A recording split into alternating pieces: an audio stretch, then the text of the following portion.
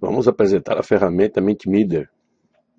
Essa ferramenta é bastante utilizada quando você quer fazer alguma avaliação diagnóstica, ou até uma avaliação formativa, ou até uma avaliação somativa com, com a tua turma. Então aqui o endereço é www.mentimeter.com. Você vem, faz aqui um, um login Aqui eu deixei o login já com o meu e-mail e a minha senha, mas você pode fazer o login tanto com o Facebook quanto com a conta do Google. Então eu vou entrar aqui com a conta do Google, mesmo já deixando salvo aquela outra conta. Posso habilitar a mesma se eu quiser pela conta do Google também, não tem problema.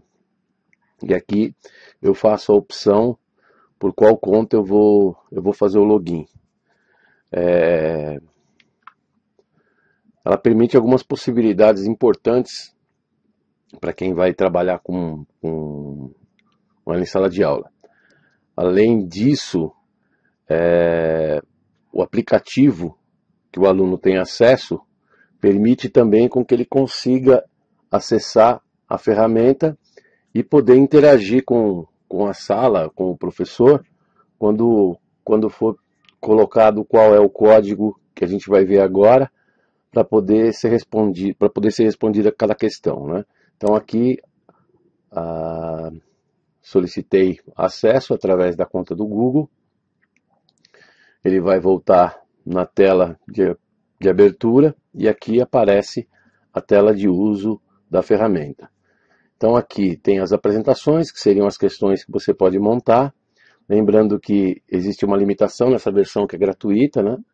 Então aqui só para a gente poder ter uma ideia geral de como montar, a gente pode criar as apresentações e pode criar também as pastas. E aí você pode fazer, organizar melhor do jeito que você prefere fazer essas, essas questões, né? Esses, essa montagem de questionário. Então no caso aqui, eu vou fazer uma nova apresentação. Nessa nova apresentação eu vou dar o nome de... É, metodologias ativas, parte introdutória,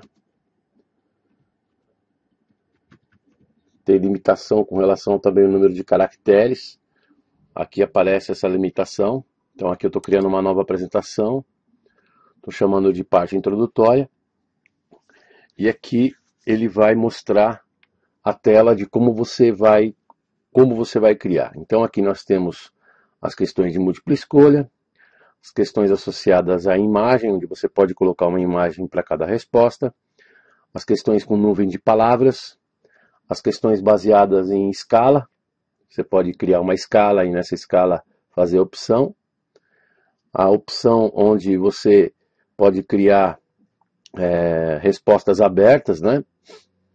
a questão dos pontos, em termos de prioridade, questões de matrizes envolvendo dois elementos, aqui no caso ele está dando um exemplo de custo-benefício, aí você pode fazer uma amarração entre os dois pontos, e as questões com competição. Né? Então você pode criar aí uma, uma competição usando esse tipo de questão. As mais utilizadas, principalmente pela gente, é as de múltipla escolha, as de resposta aberta, e as que estão associadas a uma determinada imagem. Mas nada impede você criar outras utilizando outros recursos que aqui dentro são gratuitos. Né? Então, por exemplo, vou criar aqui uma questão de resposta aberta. Então, aqui eu vou colocar ali é, a questão. Então, por exemplo, é, a metodologia a metodologia opa.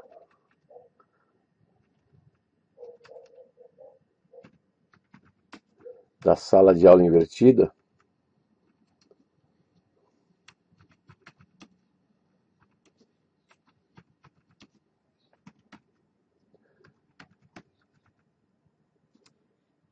É eficiente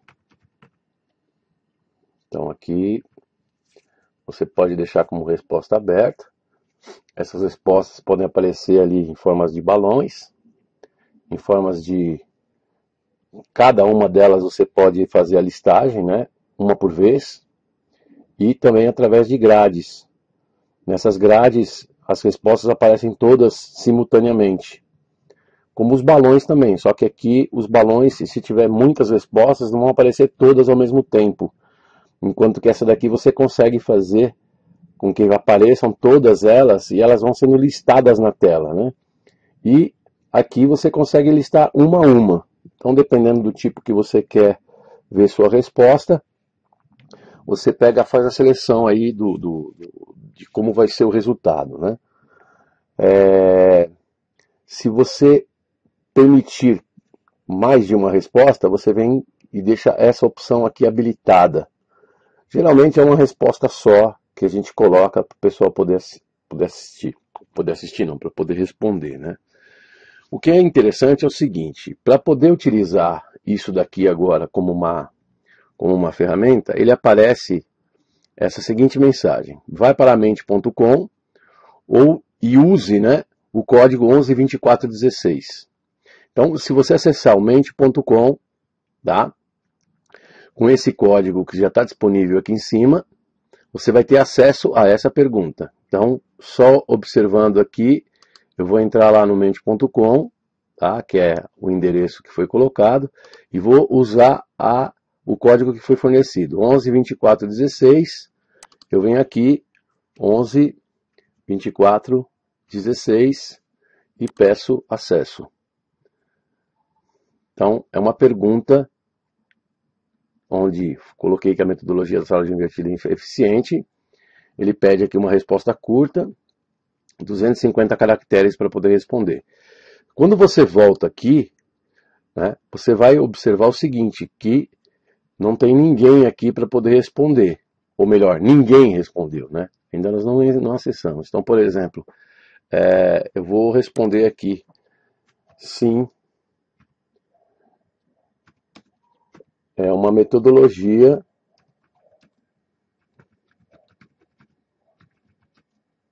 extremamente eficiente. E vou pedir para submeter. Então, fiz a submissão, ele já computou ali a resposta. Eu volto aqui, vejo que já minha resposta já está tabulada dentro do Mentimeter. Então essa aqui seria uma opção, tá? Usando aí um outro, um outro recurso, para eu poder adicionar mais uma questão, eu venho aqui em novo slide, tá? Nesse novo slide eu vou propor aí uma, uma outra forma de, de, de resposta. A pergunta que eu vou propor agora é uma pergunta com escala, por exemplo. Então aqui ele já dá a opção para você poder começar a escrever. Essa pergunta aqui, esse tipo de pergunta aqui seria legal para fazer, por exemplo, uma avaliação formativa, para você poder saber níveis né, de, de opiniões. Então, por exemplo, é, qual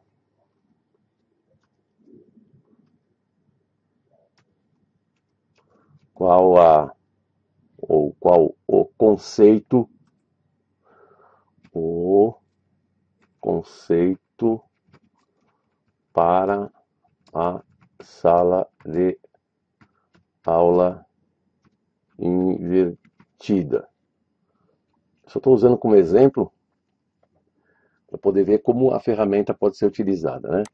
Então aqui no primeiro nível a gente pode colocar, por exemplo, é, eficiente, é, dinâmica,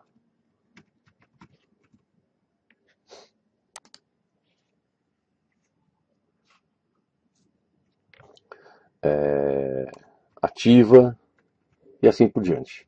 Então aqui você pode ir inserindo cada um dos, dos elementos na sua escala. Aqui ele dá a escala de 1 a 5.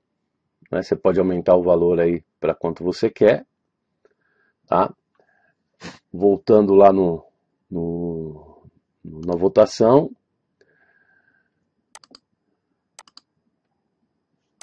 Eu tenho que novamente entrar lá no mente.com. Dou o código novamente, que é 112416. E aparece a pergunta que eu ainda não respondi. Então, por exemplo, eu venho aqui, ponho a escala que eu quero como resposta e envio. Da mesma forma, quando eu voltar lá, a resposta já vai estar tabulada. Então, essas aqui seriam as opções para você poder utilizar essa, essa, essa ferramenta. Se eu for querer acrescentar um novo slide, ele já diz que o máximo de questões foram alcançadas. Então aqui você teria que fazer a versão upgrade né, para a versão paga. Mas o, o, importante aqui é o seguinte, você pode é, criar várias, vários slides, criar várias apresentações, no máximo você tem duas para essa condição, então você pode criar várias dessas para você poder trabalhar.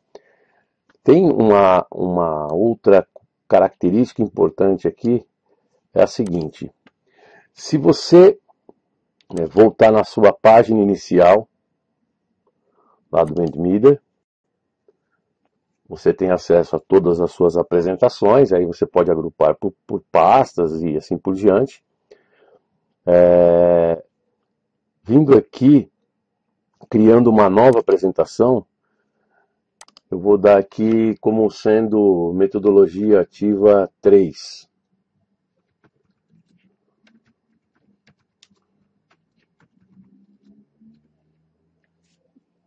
Crio a nova apresentação. Ele já vai abrir a tela para você fazer a montagem das suas questões. Aí tem a opção do quiz. Então, na opção do quiz, você pode é, criar as suas questões, né?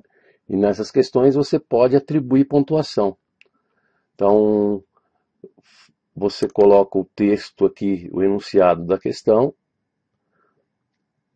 Ela está limitada aí, ó. Apresentações está limitada para 500 pessoas. Se quiser acima disso, você vai ter que aumentar, ou você vai ter que fazer o upgrade da versão, né? Passar para a versão paga. Você pode ir adicionando mais opções aqui de resposta. Então, por exemplo, é... vou colocar uma questão aqui sobre é... matemática, por exemplo. É... A função do primeiro grau corresponde a. Então aqui, claro, montei uma questão assim bem aleatória. Então, por exemplo, cosseno de x seno de x. É, log x. É, x quadrado mais 6 e 2x mais 3. Então aqui nós temos a resposta correta seria essa. Você tem que indicar qual é a resposta correta. Né? Já gerou um outro código que faz parte de uma nova apresentação. Aqui o tempo para responder é, é, limitado. Você coloca aqui o tempo para você para o aluno poder responder, né? E pode estar tá enviando para quem vai responder. Então, por exemplo, aqui o código agora é 524140 eu vou fazer o acesso pelo celular, só para poder observar o uso, usando o aplicativo que está disponível lá na, na loja de aplicativos. Então, entrando lá no aplicativo Mentimeter, eu vou colocar lá o código 52 41 40. Entrei para poder fazer a conexão.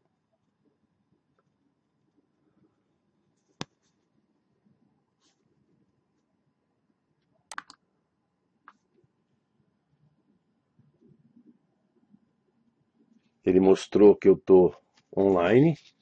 Eu vou escrever meu nome.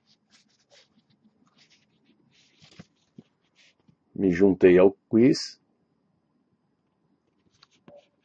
Venho aqui, dou o início para resolver a questão.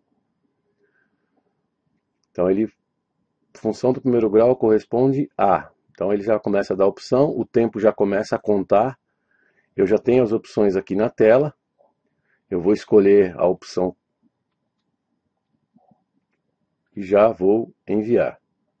Então ele já responde, já resolveu ali, já obteve a minha resposta. E aí você pode fazer isso como uma forma de game dentro da sala de aula. Então é uma ferramenta muito legal para você poder utilizar até em termos de você trabalhar na forma de games.